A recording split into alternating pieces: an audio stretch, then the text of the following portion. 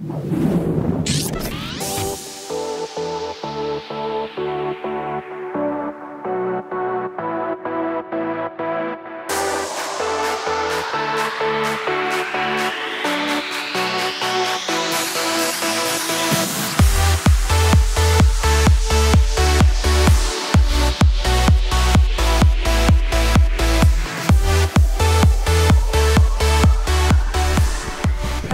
ist mein Name. Ich bin die Präsidentin der hamburgischen Bürgerschaft, also von unserem Parlament hier im Rathaus. Und deswegen ähm, darf ich euch einmal ganz herzlich willkommen heißen. Schön, dass ihr alle da seid, dass Sie alle da sind. Es sitzen ja auch ein paar ähm, Abgeordnete schon ähm, zwischen euch, dass ihr hierher gekommen seid heute Nachmittag. Games im Rathaus ist für uns was absolut Neues, haben wir noch nie gemacht.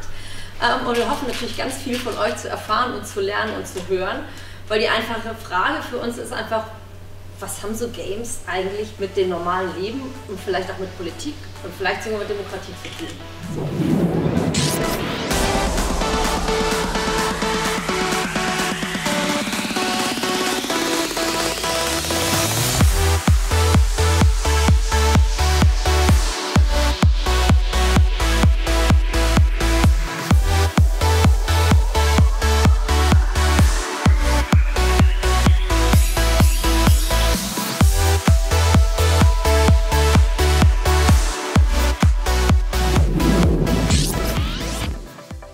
Ähm, die beliebtesten Computerkonsolen, Online-, Tablet- und Handyspiele von Jugendlichen. An 12 bis 13 Jahren haben wir am ersten Platz Minecraft. FIFA genauso, das Fußballspiel kommt jedes Jahr neu raus. Ist eins der wenigen Spiele heutzutage, die noch mit mehreren Leuten auf einer Couch quasi gespielt werden. Und auf Rang 3 Grand Theft Auto, wo wir uns nicht ganz erklären können, wie das bei den 12- bis 13-Jährigen dazu passt, da das Spiel erst ab 18 ist.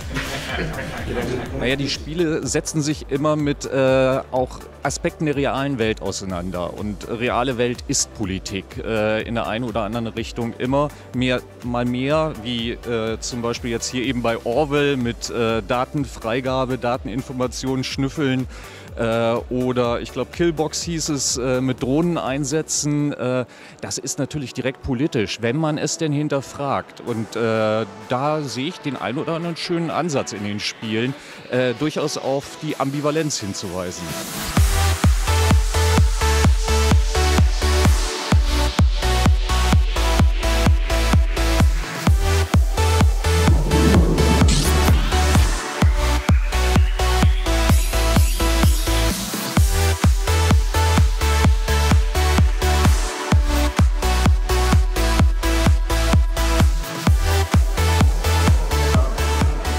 Den eigenen Kindern kennt man ja immer nur die Spiele, die wirklich gespielt werden, so wie Minecraft zum Beispiel. Aber man weiß ja auch, dass die über ihre Freunde an andere Spiele rankommen. Man sieht es hier mal, man sieht, was diese Spiele machen mit den Kindern, warum Kinder diese Spiele auch spielen. Ähm, und das finde ich ist ein sehr, sehr, sehr, sehr guter Ansatz. Ähm, und vor allem auch etwas hier über neue Spiele zu lernen, die man so äh, von den eigenen Kindern gar nicht kennt, die auch einen stärker politischen Ansatz haben.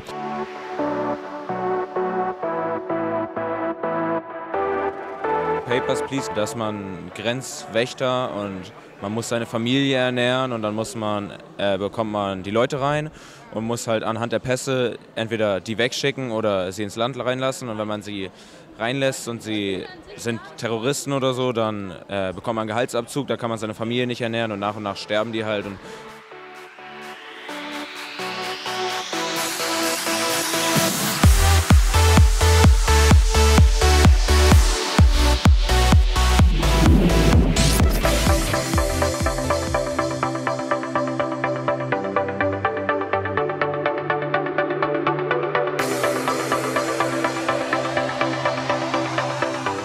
In meinem Workshop geht es darum, dass wir uns die Grundlagen von Spielen angucken, also was gehört tatsächlich grundlegend dazu, ähm, woraus besteht so ziemlich jedes Spiel, ob es nun ein Brettspiel ist, Kartenspiel, digitales Spiel ähm, oder so Sachen, wofür man kaum Materialien braucht, wie Pen-and-Paper-Spiele.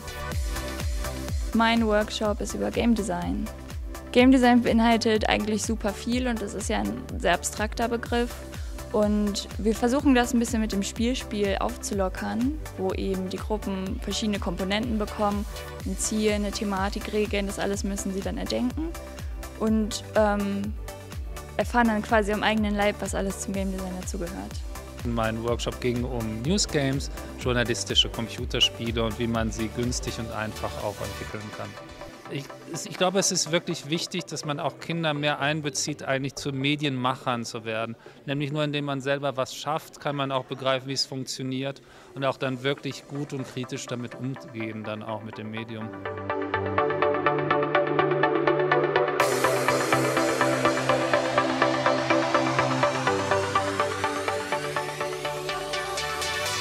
Besonders gut hat mir gefallen, dass wir neue Spiele ausprobieren konnten und ähm, dass ich jetzt weiß, was News Games sind. Also das ist, wenn Spiele ähm, halt nicht aus einer Serie entwickelt wurden, sondern wenn das einfach Nachrichten sind, die dann ähm, innerhalb von einem Tag in ein Spiel so umgewandelt wurden.